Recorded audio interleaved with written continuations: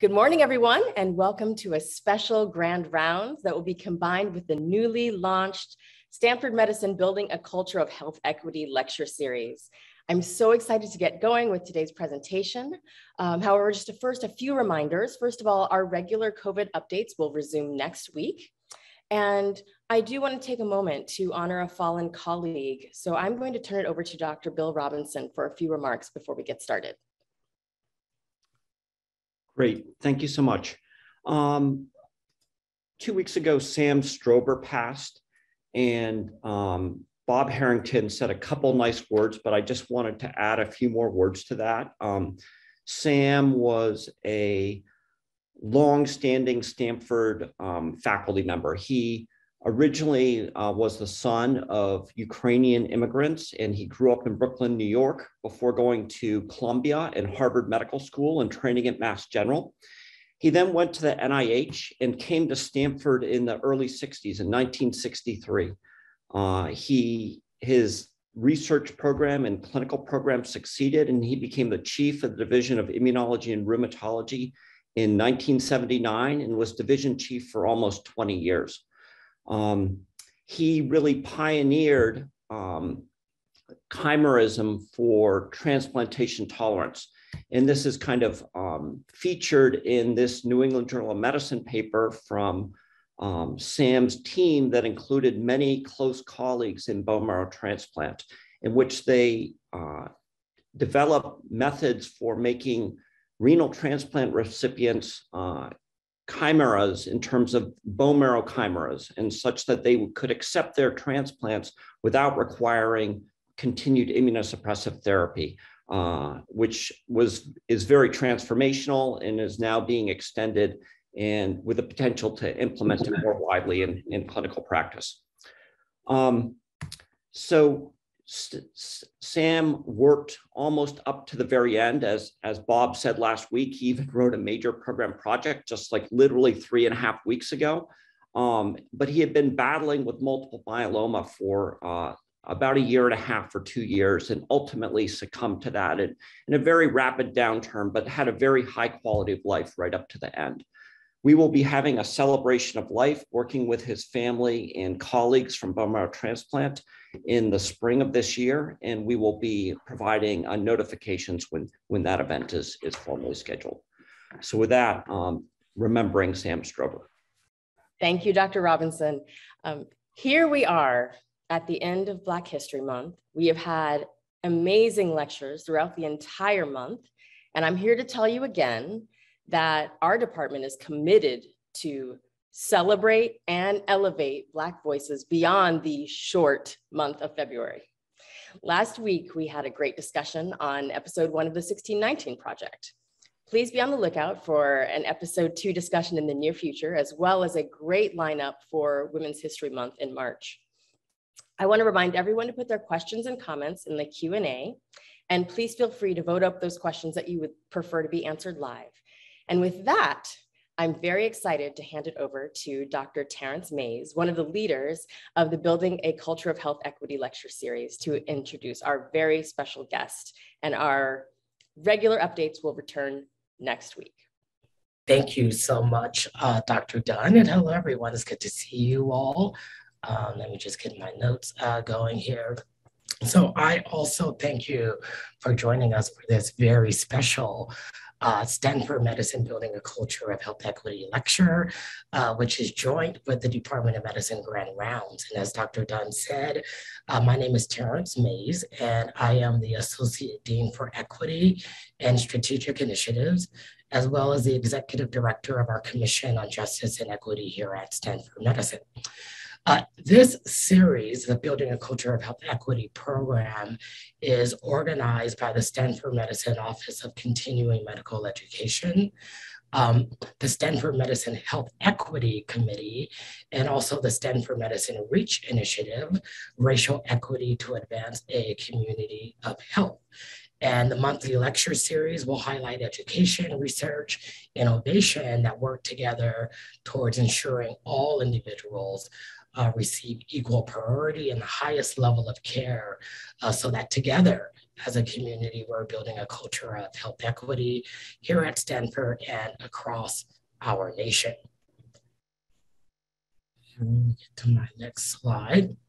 So I want to introduce uh, our guest speaker, but first a little housekeeping.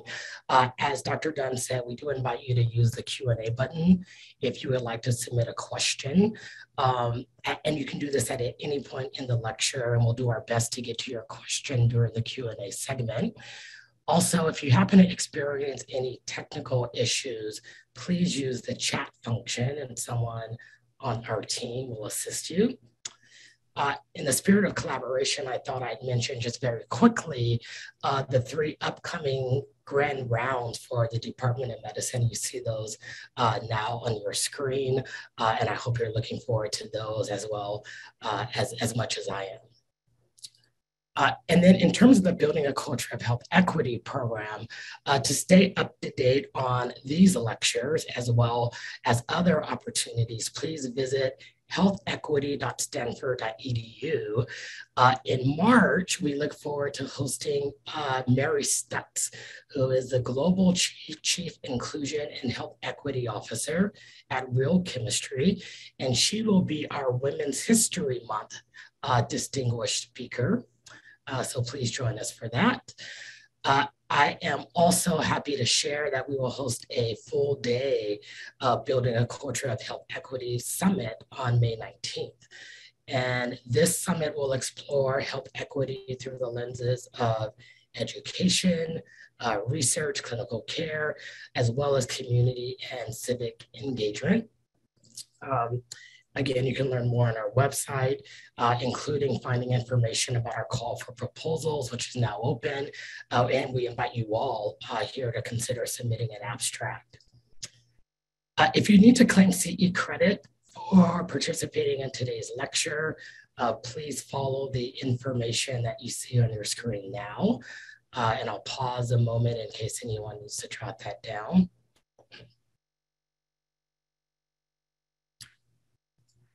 Okay, so it is now my distinct honor uh, and privilege to introduce and actually welcome back uh, one of our very own, a graduate of the Stanford Medicine MD program, and someone that I and many, many others around the world have been inspired by for years. Camara Phyllis Jones uh, is a family physician, epidemiologist, and the past president of the American Public Health Association, whose work focuses on naming, measuring, and addressing the impacts of racism on health and the well being of our nation and the world. Dr. Jones is currently the 2021-22 UCSF Presidential Chair at the University of California, San Francisco. She just completed her role as a 2021 uh, Presidential Visiting Fellow at the Yale School of Medicine and as the 2019-20 Evelyn Green Davis Fellow at the Radcliffe Institute for Advanced Study at Harvard University. Dr. Jones taught six years as an assistant professor at the Harvard School of Public Health, served for 14 years as a medical officer at the Centers for Disease Control and Prevention, and she continues as an adjunct professor at the Rollins School of Public Health at Emory University and as a senior fellow and adjunct associate professor at the Morehouse School of Medicine. Dr. Jones has been teaching us about race and racism before it was popular uh, and sort of commonplace to do so.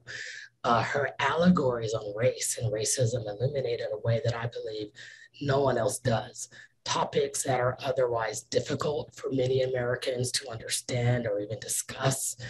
Uh, recognizing that racism saps the strength of the whole society uh, through the waste of human capital and human resources.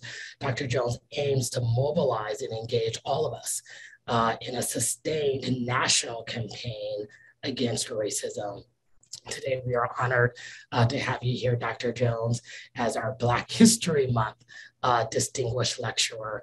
Thank you, thank you, and welcome. Oh, thank you so much. I'm really delighted to be back home at Stanford, at Stanford Medicine, and um, to have this opportunity really to share some of my allegories and frames for um, naming racism and moving to action. Now you'll notice that I put a little confronting racism denial above that title, and I'm going to say a bit about that in a minute, but recognizing that this is a CME um, event as well, I need to say I have no relevant financial relationships to disclose. And so on that notion of confronting racism denial, this is sort of at the edge of my thinking now that racism denial is actually like a black hole in our national landscape, like black holes in the universe. So, black holes in the universe, you know, are massive, they're powerful, they suck everything into them, but they're invisible. We can't see them. The reason we can't see them is that even when light comes near, it gets sucked in. And in the same way, racism denial is operating in our society staunchly held by so many and and invalidating our efforts our anti-racism efforts which have been newly invigorated in this country after the recognition of the disproportionate impact of COVID-19 on communities of color and after the gruesome murder of Mr. George Floyd, but so many before and so many after him, there has been uh, a reawakening, a re-recognition that racism exists by some. But there are still many who are in staunch racism denial. And so in addition to our efforts to dismantle structures, to address negative uh, you know, dehumanizing value systems, I think that in our work we need to squarely confront racism denial, recognize that that that uh, loving of comfort as a value as opposed to valuing social justice is just one more reflection of racism denial. So I'm going to keep coming back to that in my um, in my remarks. But let me say that six years ago in 2016, I was the president of the American Public Health Association. And in that role, I launched our association, our 54 state affiliates, state and other affiliates, you know, as many communities and other professional organizations as would join us in 2016 on a national campaign against racism with three tasks.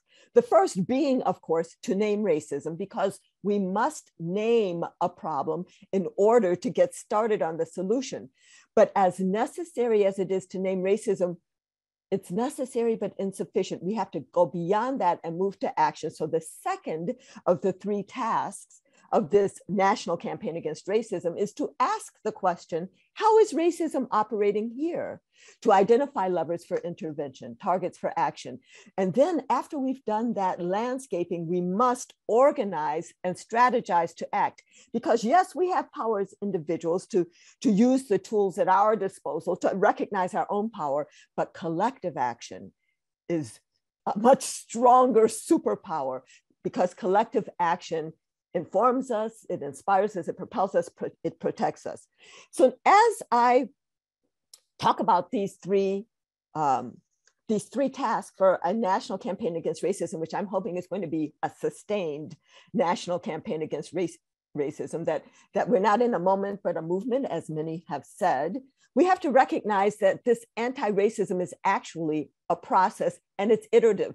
So once we name racism, we're not done with that. We have to name racism, ask how is racism operating here, organize and strategize again, and then repeat, name racism. And it's an intergenerational process. I hope I, in our questions, we can get to that.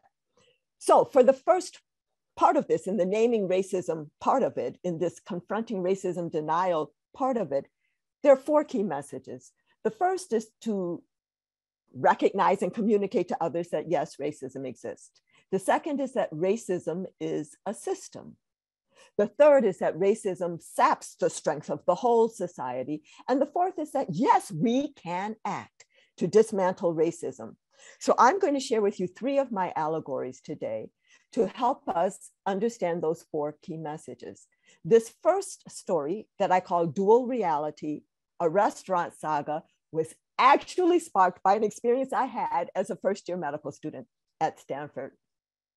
So I'm going to have you walk with me in my experience, but this is going to be a story about racism and especially to help people understand that yes, racism exists. So here I was, first year medical student, very studious, very diligent, on this Saturday, like most Saturdays, I had awakened early and I had hit the books, nose in, studying hard. Comes to be about mid afternoon, and some of my friends come over. Do they distract me from my studies? Oh no. Oh no. We all get together studying together long and hard, and now it's getting late and we're getting hungry. And I have no food in my apartment, which was so typical that my friends, they understood. They were like, okay, never mind, Camara, but we're hungry. So let's go into town and find something to eat. So we do. We go into Palo Alto. We, you know, go into town. I usually don't say the, the town, you know, but here we are. So we go into town and we find a restaurant. We walk in and we sit down and the menus are presented and we order our food and the food is served. Here we are eating. So people of my generation might have thought, oh, they, they might have thought I was going with a different story about racism in a restaurant. But yes, we're served here, we are eating. As I, there is a story about racism in here. So as I sat there eating with my friends, I looked across the room and I noticed a sign that was a startling revelation to me about racism. So now maybe I've intrigued you. And you're wondering, okay, Dr. Jones, what did the sign say? Well, what did the sign say? The sign said open. So now maybe I've lost many of you because you're confused. How is that a startling revelation about racism? Excuse me. Well, let me recap. Here we are. I have to take a drink of water. Hold on.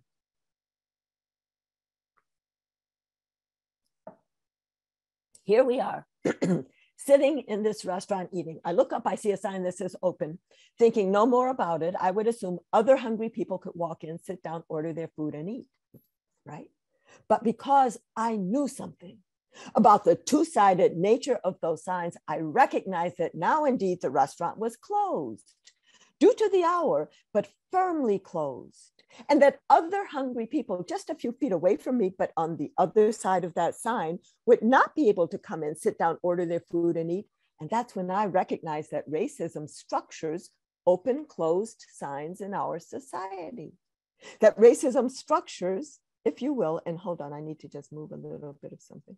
That racism structures, if you will, a dual reality and for those who are inside the restaurant at the table of opportunity eating, and they look up and they see a sign that says open, they don't even recognize that there's a two sided sign going on because it is difficult for any of us to recognize a system of inequity that privileges us.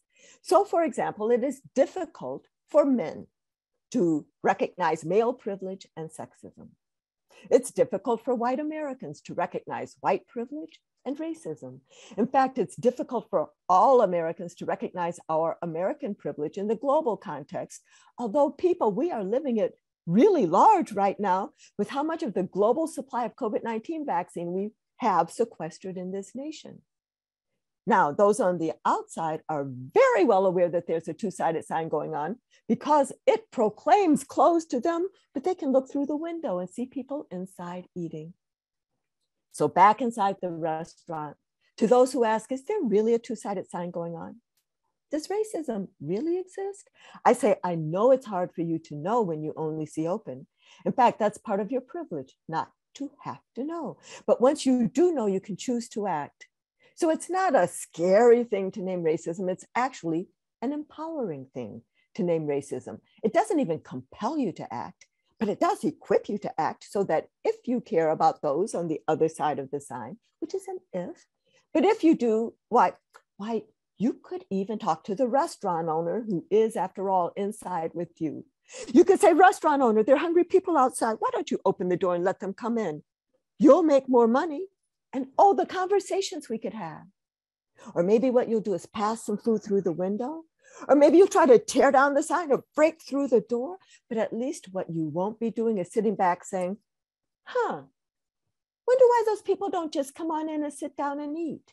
Because you'll understand something about the two sided nature of that sign that proclaims open to you.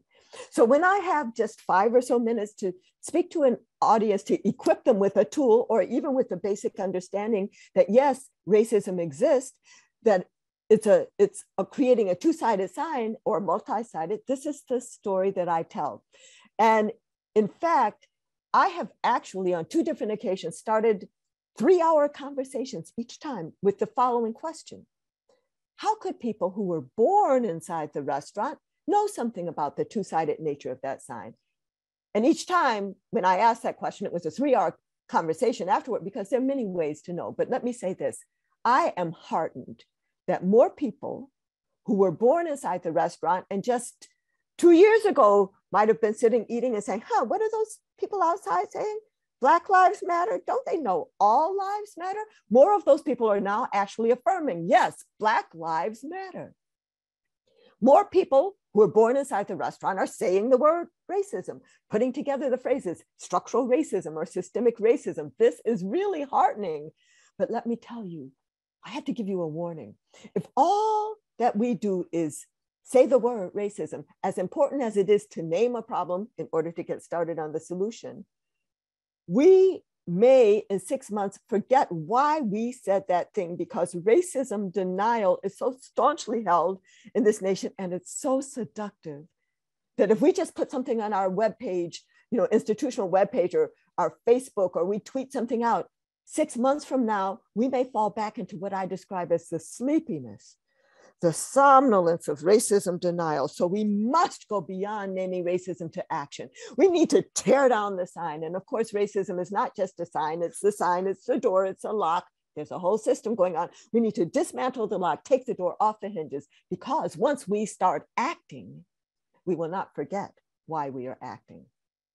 So that's my story that I hope you will remember and share with somebody in your family, somebody in your workplace, a neighbor, to help them understand, help all of us understand that racism is structuring two-sided or multi-sided science. It's creating a dual or multifaceted reality in this society. And that same sign that proclaims open and reassures many of us that this is the land of equal opportunity is a two-sided sign and it is closing things to others.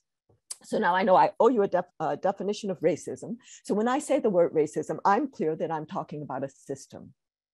So I am not talking about an individual character flaw or a personal moral failing or even a psychiatric illness, as some people have suggested. And yes, racism shows up in all of those ways, yes. But in its essence, it's a system of power.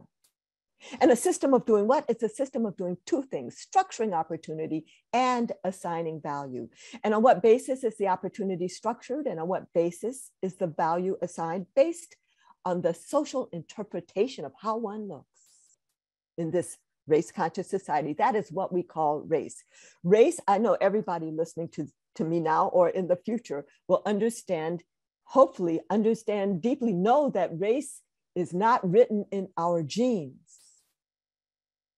Race, the same race that becomes part of health statistics, is the same on the street race that people, you know, kind of check you off as without even asking, how do you self identify? Or where were you born? Where were your parents born? Or even, may I have a little aliquot of your blood? I have a genetic hypothesis.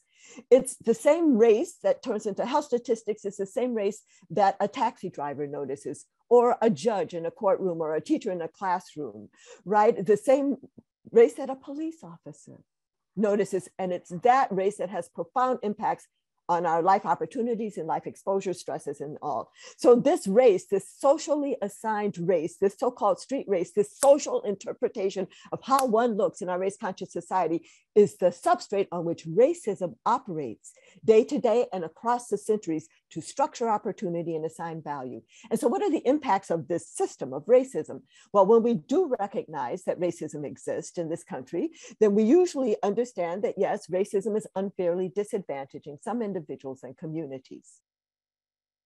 But it shouldn't take any of us long to recognize that every unfair disadvantage has its reciprocal unfair advantage, so that racism is also unfairly advantaging other individuals and communities.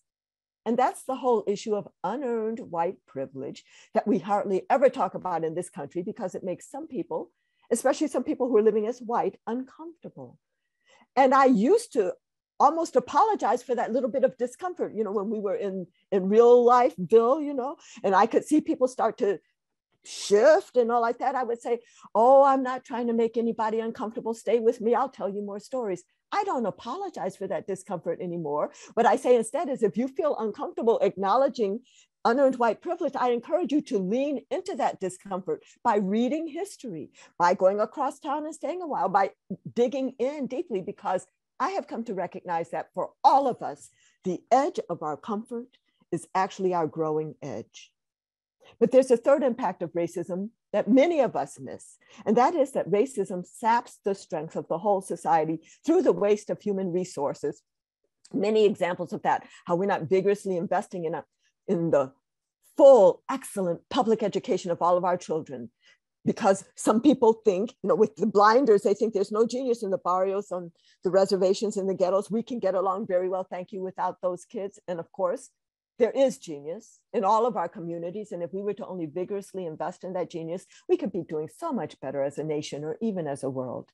Those same blinders that don't value all of us equally have made us as a nation complacent with what I describe as a wholesale warehousing disproportionately of so many Black and Brown men in our prison system, as if that didn't separate us from human potential. Many ways. And I think that this third impact, how racism saps the strength of the whole society, actually should be the one that we are elevating in these days and times. We need more media stories about that. We need more conversations around our faculty tables or our boardroom tables or around our dining room tables so that more people are filled with a sense of urgency to dismantle this system and put in its place a system in which all people can know and develop to their full potentials. But, um, and I would love to, you know, I am at risk of talking deeply into my slides. I just want to say one more thing before I go on, but I'm going to try to reserve at least 10 minutes for our Q&A. But, um, you know, there are many people in this country who resist acknowledging unfair advantage. And they would describe two states of being, yes, but they would describe them as disadvantaged and normal. And the reason that many people in this country would describe these two states of being as being disadvantaged and normal is that we as a nation are ahistorical. We act as if the present were disconnected from the past and as if the current distribution of advantage and disadvantage were just a ha happenstance. And people do not recognize that their so-called normal is built up on a whole mountain of unfair advantage. Now, in order to understand how this system can turn into health outcomes, differences in the numbers of our babies dying before their first birthday by race, the infant mortality rate differences, or differences in the maternal mortality rates, three to eight times uh, depending on where you are in the country, higher maternal mortality for Black women, Indigenous women compared to white women around what should be the happiest time in their lives, right? Or differences in obesity prevalence or differences in renal failure, or differences in diabetes prevalence, and, and all of that, those things which were pre-existing conditions that made it more likely if you got infected with COVID that you would die from it. I mean, so how could racism turn into these things? And I think it's useful to understand racism on three levels to explain that.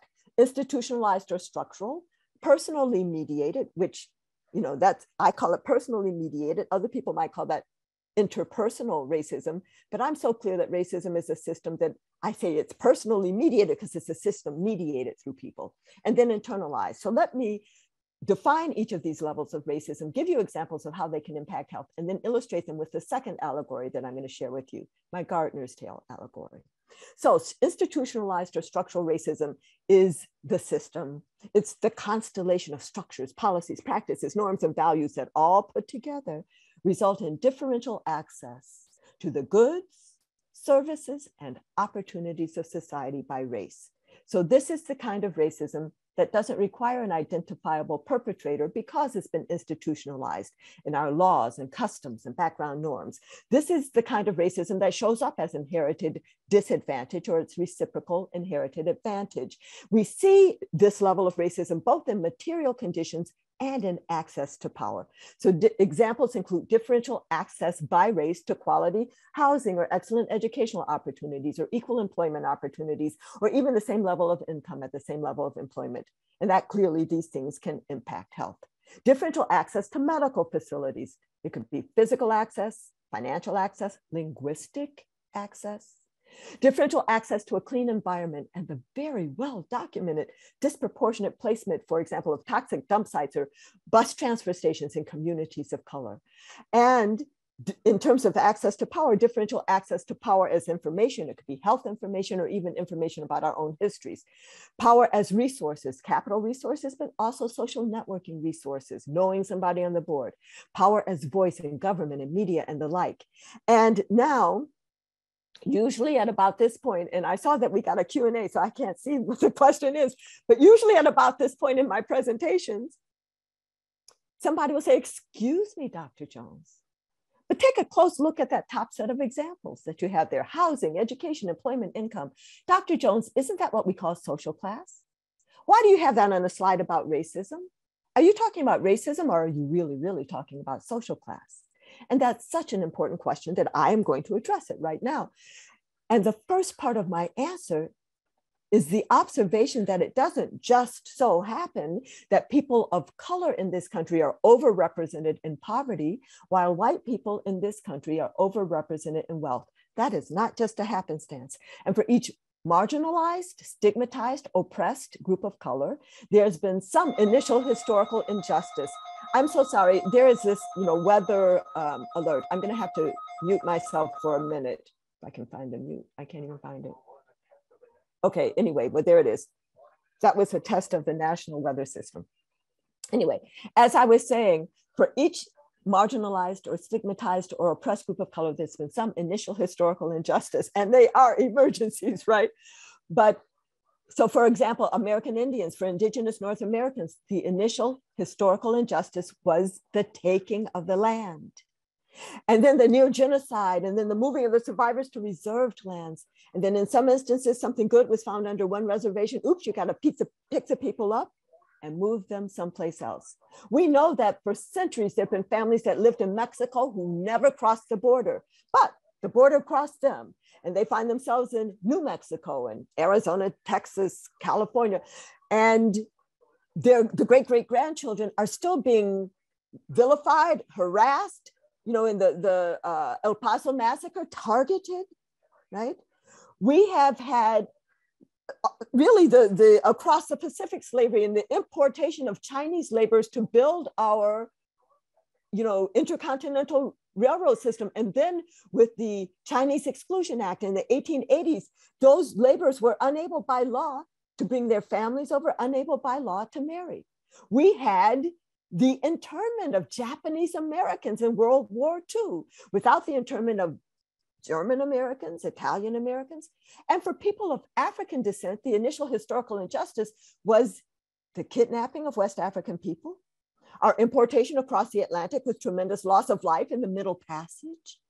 And then for the survivors and their progeny for generations and generations and generations, what I described as the coerced usury of our unpaid labor for centuries to build this country. But now you're listening to me there, and like people in the past have been like, oh, Dr. Jones, there you go, talking about slavery. Dr. Jones, we all recognize that slavery was an unfortunate chapter in our nation's history. And sometimes people don't even recognize that. But Dr. Jones, we in this conversation all recognize that. But Dr. Jones, the enslaved people were emancipated by 1865. We are in 2022. That makes that 157 years ago. So, Dr. Jones, all else being equal, don't you think the impacts of slavery would have washed out by now?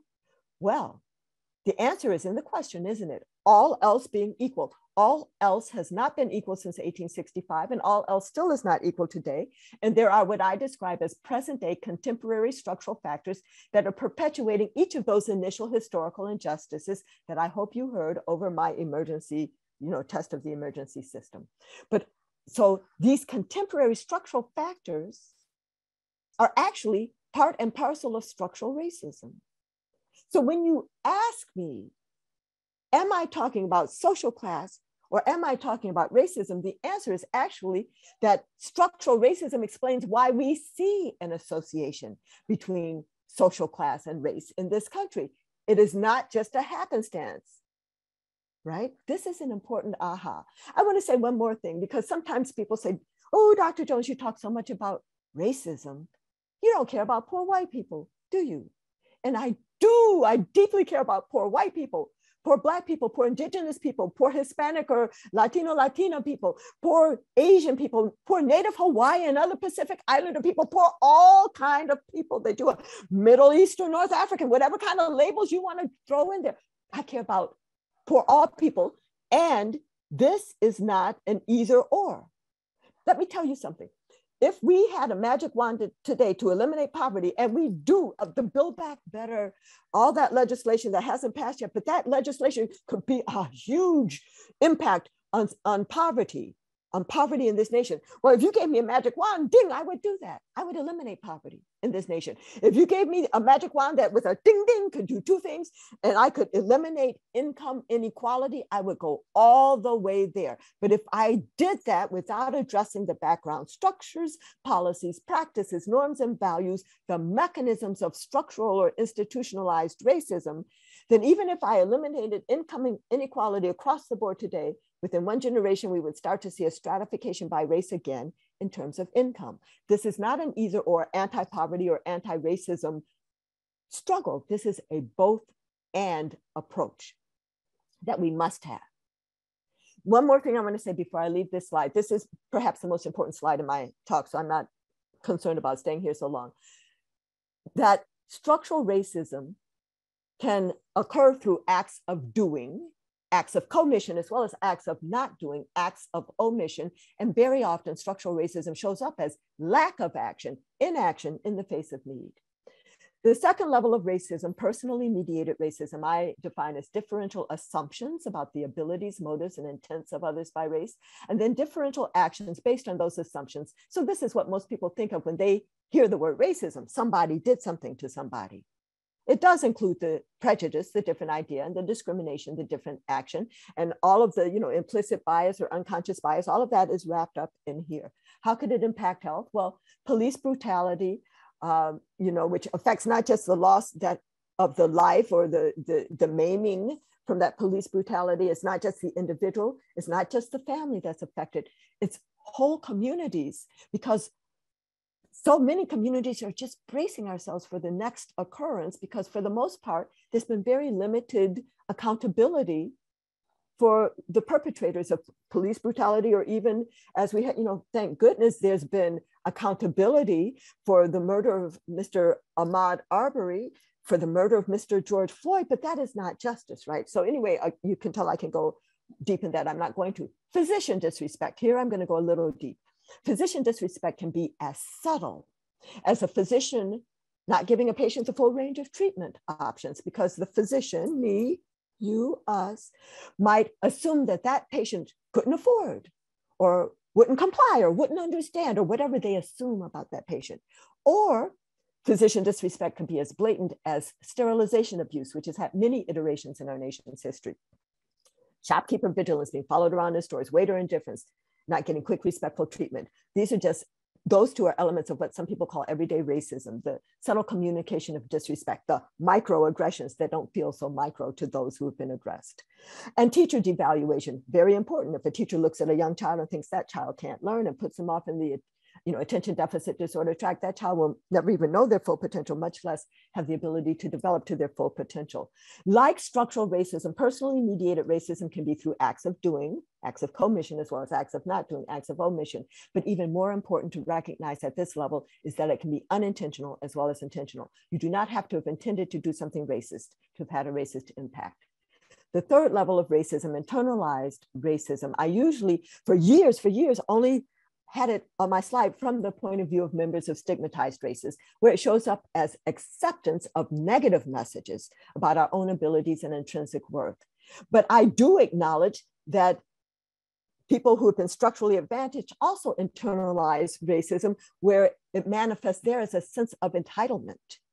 And I am not putting it on my slide just to just so that we can understand that this is not just a, a one-way type of thing of internalization. And especially because this sense of entitlement I've come to recognize requires racism denial. You know, I talked about racism denial as this huge black hole. Well, if you feel that your situation is normal and that you are entitled to it, you have to deny that there is an unfair system going on. I will, for the rest of this slide, talk about uh, internalized racism, again, though, from the point of view of members who stigmatize racists, because I actually don't know how a sense of entitlement can turn to bad health outcomes unless, I will have to say, unless what you have is a sense of entitlement thwarted, in which case maybe that is related to what some people have described as the, the diseases of despair. the diseases of despair in white populations, the despair of a sense of entitlement thwarted. So including, you know, the suicide, the um, opioid epidemic and the like. But from the point of view of members of stigmatized races, this level of racism, internalized racism shows up as self-devaluation, feeling maybe I'm really not as good as, maybe I shouldn't try to graduate from high school. Maybe I shouldn't try to apply to that college or try to get that job or live in that neighborhood. It turns into what my parents' generation called the white man's ice is colder syndrome, which many of us in my generation and younger people today still hold on to. So how does that show up? Well, say I'm Black and I need a lawyer. I may actually go out of my way to seek out a white lawyer over a Black lawyer. Or if I'm sick, I might prefer the white doctor over the Black doctor if I could find a Black doctor. Or if I am Black and my lemonade is warm, I may go all the way down the street to get the white man's ice over the Black man's ice, deeply believing that the white man's ice is colder, deeply internalizing the myth of white superiority. It turns into resignation, helplessness, hopelessness, which turns into a lot of self-destructive health behaviors, and really is about members of all of the stigmatized races. This is not just a black-white thing. I have to just be clear, you know, that racism is affecting many, many groups in this nation. It's a, a acceptance by those of us who've been stigmatized of the limitations to our own full humanity of the box into which we have been placed. So now I'm going to share with you an allegory, my Gardener's Tale allegory, and I'm going to briefly stop sharing so that I'm larger on your screen because if you think I've been using my hands a lot uh, before, I'm going to really use them now. This allegory is to illustrate these three levels of racism and then to help us understand how do we move forward. It's based on something that happened in my own real life. I'm going to tell you what happened in my own real life, then make it a story about racism. My husband and I have been married about a year and we moved down to Baltimore for me to finish my PhD at Hopkins, and we bought our first freestanding house. Cute little house, big wraparound porch with flower boxes all on this dotting this porch. So, you know, we bought the house in October, not the time to plant, but when spring came, my husband, who loves to garden, ran out with our marigolds. He's going to decorate our cute little house by planting our marigolds in all of these boxes. But he came right back in and he said, Camara, you know, some of these boxes have dirt in them, but some of the boxes are empty. I need to go down to the gardening store. So he does, goes to the gardening store. He comes back hauling big old bags of potting soil. And then we take that potting soil and we fill up those empty boxes. And then we take our marigold seed and we sprinkle equal numbers of seeds in all of the boxes and we water all of the boxes equally. And then by that time, you know, because I'm not the gardener in the family, I'm exhausted. So I just sit back, gonna be delighted. Three weeks later, as I'm walking out of my front door onto my porch, I finally pay attention to these flower boxes. And what I saw made me literally stop in my tracks because what I saw made me think that we had planted completely different species in some boxes versus others. Some of the boxes were full of plants and the plants were tall and vigorous looking. And some of the boxes just had a few plants in them and they were scrawny and scraggly looking. And then I realized what had happened. That potting soil that we had bought turned out to be rich, fertile soil. So every single seed planted in the rich, fertile soil has sprouted. Strong seed had grown very tall and vigorous, but even the weak seed had made it halfway up. But that old soil that we had found there turned out to be poor rocky soil. So the weak seed planted in the poor rocky soil just died.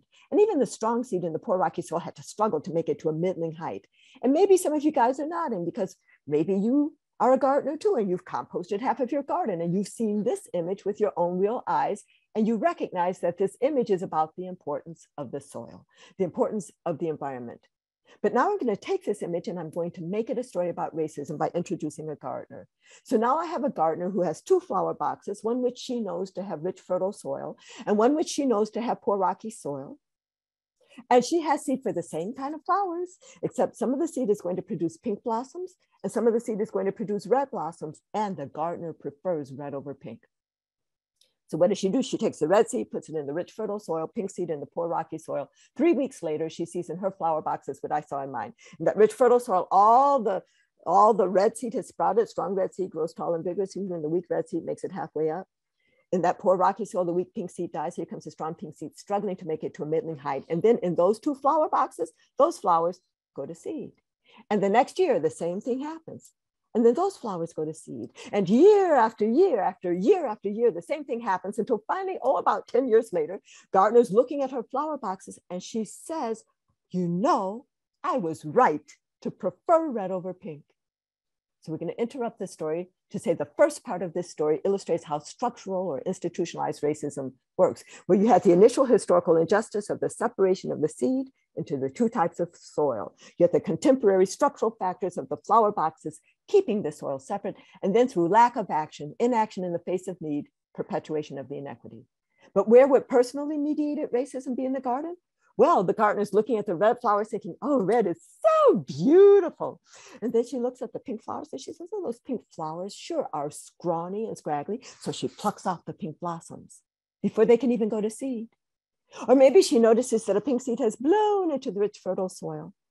And so she plucks it out before it can establish itself, which is some of the anti affirmative action stuff that goes on. And where would internalized racism be in the garden? Well, the red flowers are just living their lives, enjoying being red, many of them not acknowledging or perhaps not even recognizing that they're benefiting from enriched soil.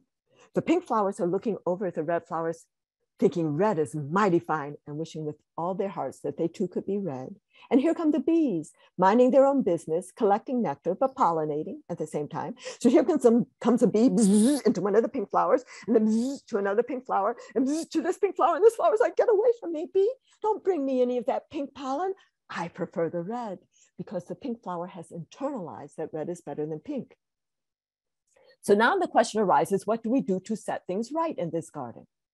Well, we could start by addressing the internalized racism. So we can go over to the pink flowers and say, pink is beautiful, power to the pink. And that is an important intervention. But if that's all we do, it's not going to change the situation in which the pink flowers find themselves. So you might say, okay, okay, well, let's, let's address the personally mediated racism. Let's have a conversation with the gardener, or better yet, let's have a workplace multicultural workshop for the gardener. So we do.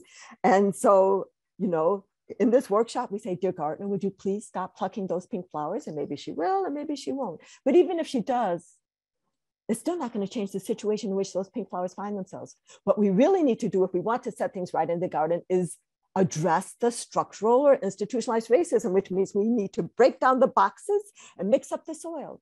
Or if you're not quite ready yet to, you know, break down the boxes, then, you know, uh, we could keep separate boxes, although I don't like that idea. It makes it much easier for that same gardener to keep segregating resources going forward. But if you're going to keep separate boxes, it means that we have to enrich the poor rocky soil until it's as rich as the rich fertile soil. And when we do, the pink flowers will flourish. They'll be looking beautiful, grand, and glorious. So that in that intervention on the structural racism, we will have also addressed the internalized racism. Pink will not no longer be looking over at red, thinking red is better or wanting to be red.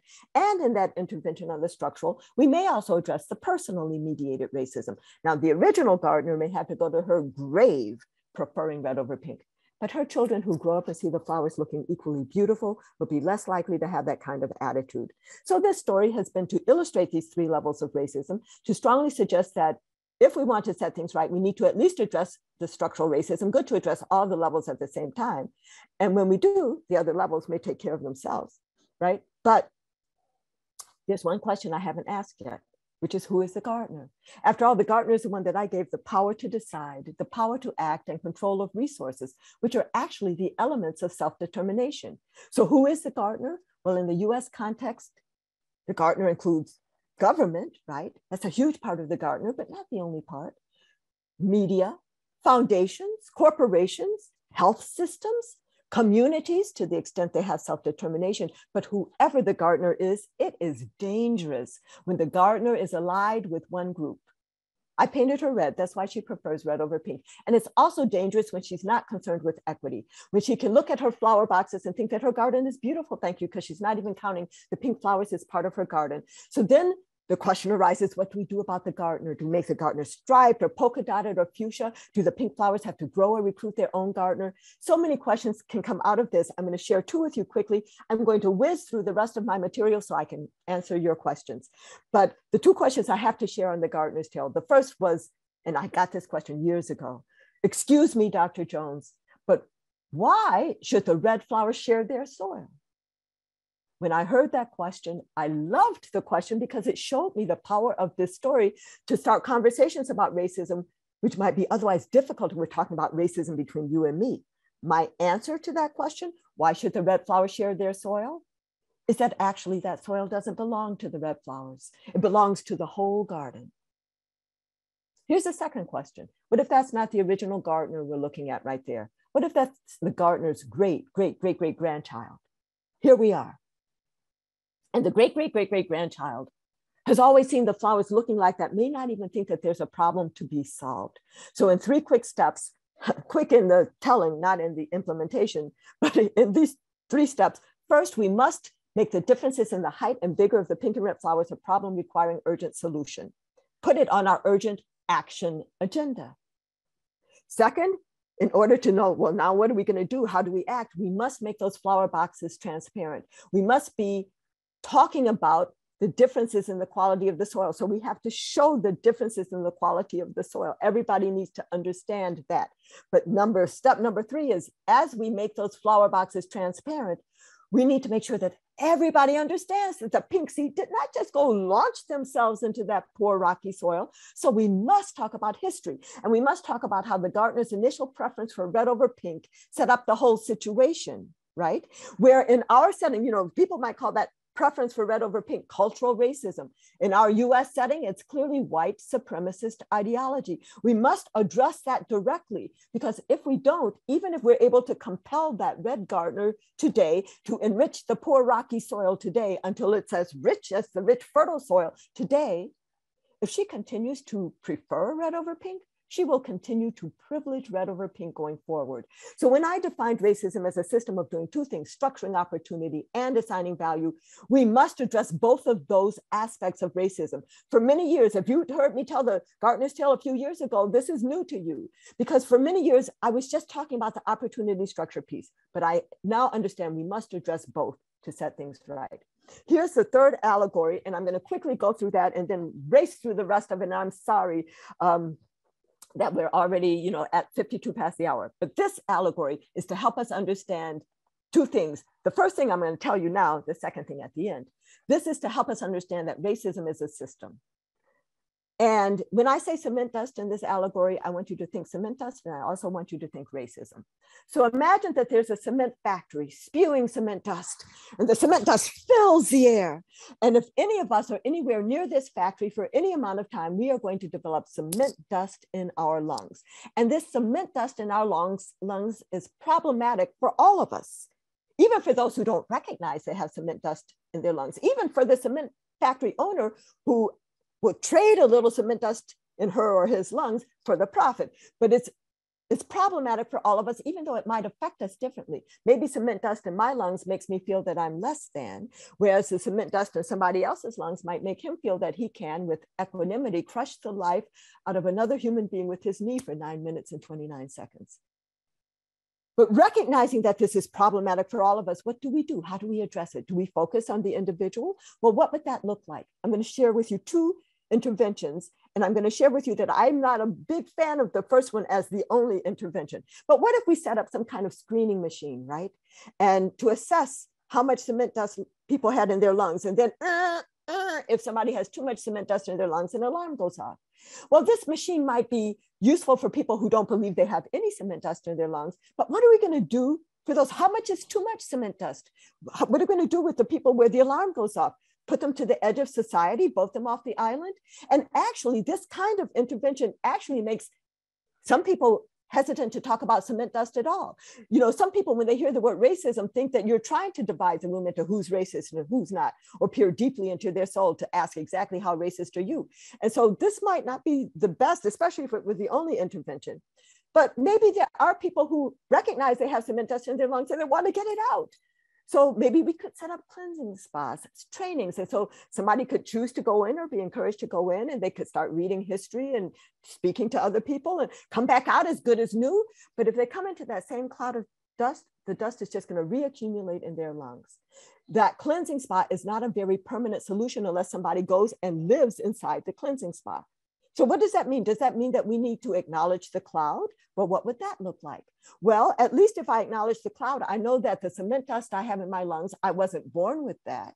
I recognize it as because I'm living in this cloud of cement dust, and it's going to make me want to create a more permanent solution, maybe put on a, a gas mask, right, to filter out the cement dust from my lungs, recognizing that that in and of itself is not going to take the dust that's already in my lungs, but I recognize I need to keep this on 24 seven. It's the start of my individual anti-racism journey. And I'm actually heartened when I see myself reflected in a mirror or a glass that I, that the mask is still on, right? And when you all see me with the gas mask, you're going to ask, Dr. Jones, why are you wearing a gas mask? And I'm going to say, we're living in a cloud of cement dust. And then more and more of you may put on your own individual you know, gas mask, start your own individual anti-racism journeys. So is that the answer then? Is that the answer? You know, we have our things, we go around and we might name the cloud to other people. And then maybe we, do we need to develop 330 million gas masks, little baby sized gas masks, old people gas masks? I think it's a start, but it's insufficient. We must dismantle the factory, which means that especially those of us who have started our own individual anti-racism journeys and have on a gas mask can, can see more clearly and can get a little closer to the factory, we need to get closer to the factory, which has been obscured for many other people by all the dust it has kicked up. They don't even know there's a factory in there. And then we need to ask, how is this factory operating here?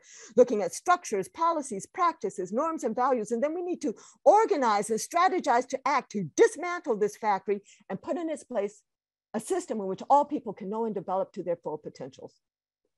So this story is not only that racism is a system, but it's also that we must address racism at the systems level if we're really going to have any impact. So that question, how is racism operating here? As I said, it was the second of three steps in the national campaign against racism. You know, it's a legitimate question because racism is not a cloud of miasma we can't get a handle on. It is a system with identifiable and addressable mechanisms in our structures, policies, practices, norms, and values. You're like, Dr. Jones, what am I going to do with that? It seems like a headache until we recognize these are all the elements of decision making. Structures are the who, what, when, and where of decision making, especially who's at the table, who's not, what's on the agenda, what's not. Policies are the written how of decision making. Both practices and norms are the unwritten how of decision making. Practice is the way we do things now. We don't have to write that down. Norms, the way we've always done things and the way we expect you to do things today. And values are the why. And if we take this question, how is racism operating here? And just spend five or 10 or 15 minutes with that question how is racism operating here in my workplace, at my child's daycare center, with regard to police killings of unarmed Black and Brown men and women, with anything within 5, 10, 15 minutes, thinking about the who, what, when, where, why, and how of decision making, we can identify levers for intervention, targets for action. I will not have time to share with you my three part definition of health equity, just to say that it is a process and that there are three uh, principles for achieving health equity. If you think you're doing it, are you valuing all individuals and populations equally? Are you recognizing and rectifying historical injustices? And are you providing resources according to need? Seven barriers to achieving health equity um, our narrow focus on the individual that makes systems and structures invisible or irrelevant, our ahistorical stance, our endorsement of the myth of meritocracy, the story that if you work hard, you will make it. Most people who have made it have worked hard, right? Most people who have made it have worked hard, but there are many other people who are working just as hard or harder who will never make it because of an uneven playing field that's been structured and perpetuated by racism, sexism, heterosexism. All of these systems are structured inequity. When we deny racism, we blame those who haven't made it for being lazy or stupid. And there are many ways to deny racism. The most prominent, some people say, I don't think racism exists. But even if we're working on diversity, equity, inclusion, belonging, all of those things, if we work on those things and don't say the word racism, the ism piece is the system piece, then we're complicit because we're in a, a, society with widespread racism denial, we're complicit with that racism denial. The myth of a zero sum game, if you gain, I lose, that fosters competition. The limited future orientation, the parts of the future we can touch today, each of us that will hopefully survive us are the children and the planet. In this country, we have a disregard for the children and a usurious relationship with the planet the myth of American exceptionalism, this myth that the US, we say American, we really mean US, is so ordained by God that we, you know, are entitled to all of this vaccine that we have here and that there's nothing that we can learn. And white supremacist ideology, that is the first, the founding value, but I put it last in this list so you could keep listening to me. But this is the false idea of a hierarchy of human valuation by race. There is no such hierarchy. The false notion that not only is there a hierarchy but that would put white people at the top as the ideal or the norm, but that has given many people who are living as white a sense of entitlement. It has resulted in the devaluation and dehumanization of people of color and fear at the browning of America that underlies a lot of our political divide today. So what can we do today? Going back to that image, we should actively look for evidence of two-sided signs. Don't be reassured that things look open to you. Look for, are there, is there evidence of some two-sided sign operating by race, by gender, by immigration, by language, uh, you know, by urban, rural, zip code, whatever, looking not only at outcomes, but also at opportunity structures. We need to burst through our bubbles of experience to experience our common humanity, to know that just across town, there are people who are just as kind, funny, generous, hardworking, smart as we are, who are living in different circumstances. Because once we experience that common humanity, we can start building common cause. We need to be interested in the stories of others, believe the stories of others, and then join in the stories of others.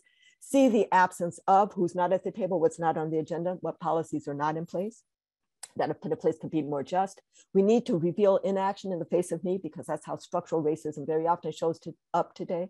But all the power is not just on those inside the restaurant. Those on the outside need to know our power, need to recognize that action is power. And especially, as I said before, collective action is power.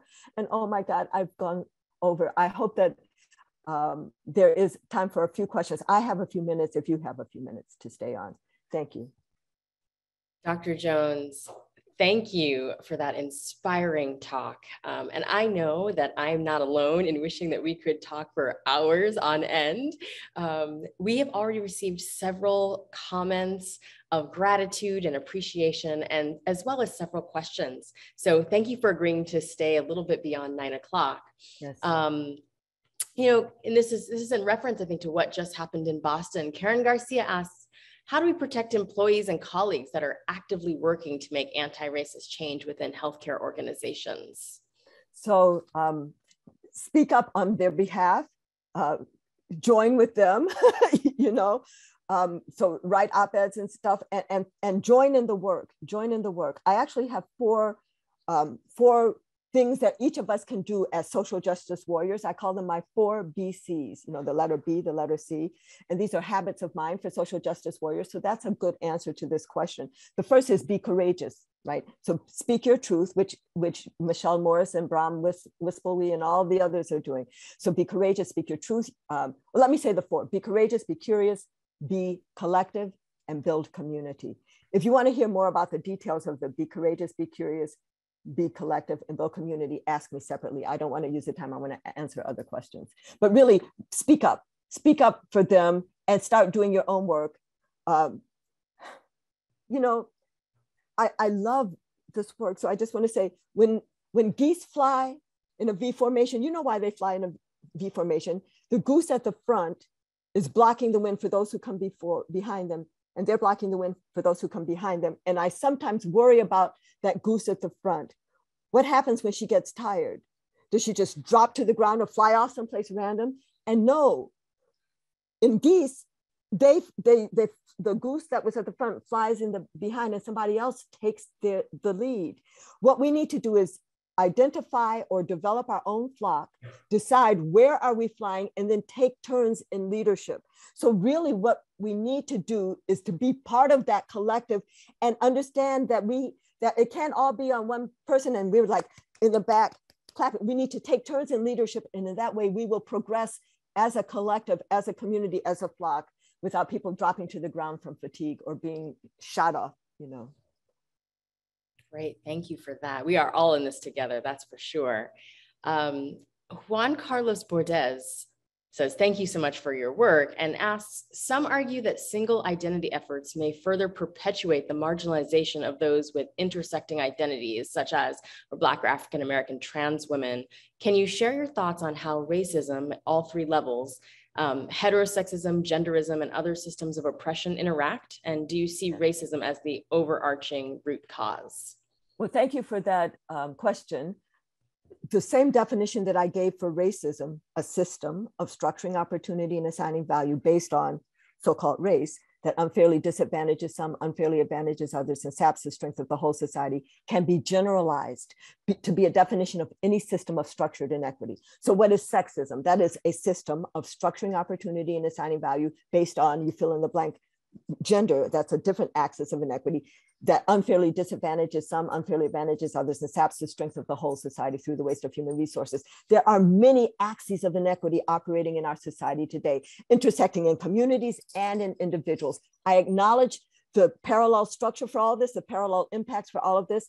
But when people ask me, why do you, Camara, spend so much of your time on race as the axis of inequity and racism as a system, it is because racism is foundational in our nation's history. And yet many people are in staunch denial of its continued existence and profoundly negative impacts on the health and well-being of our nation.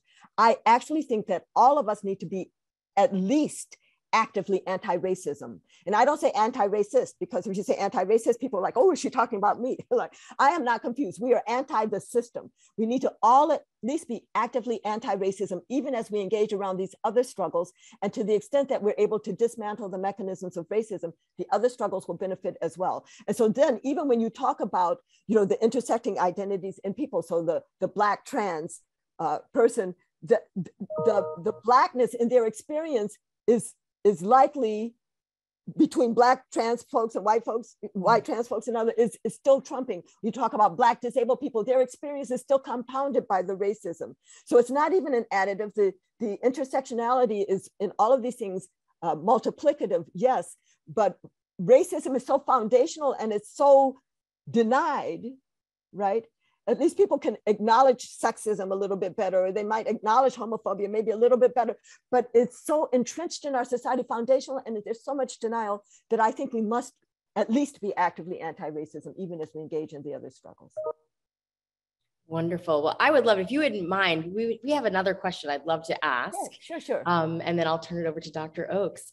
What advice do you have for dealing with colleagues who are becoming more engaged in the conversation, but perhaps struggling with some white fragility and feeling these conversations are attacking staff, making them feel bad for treating people so poorly? This is from Joe Thackeray. Thank you very much for the question.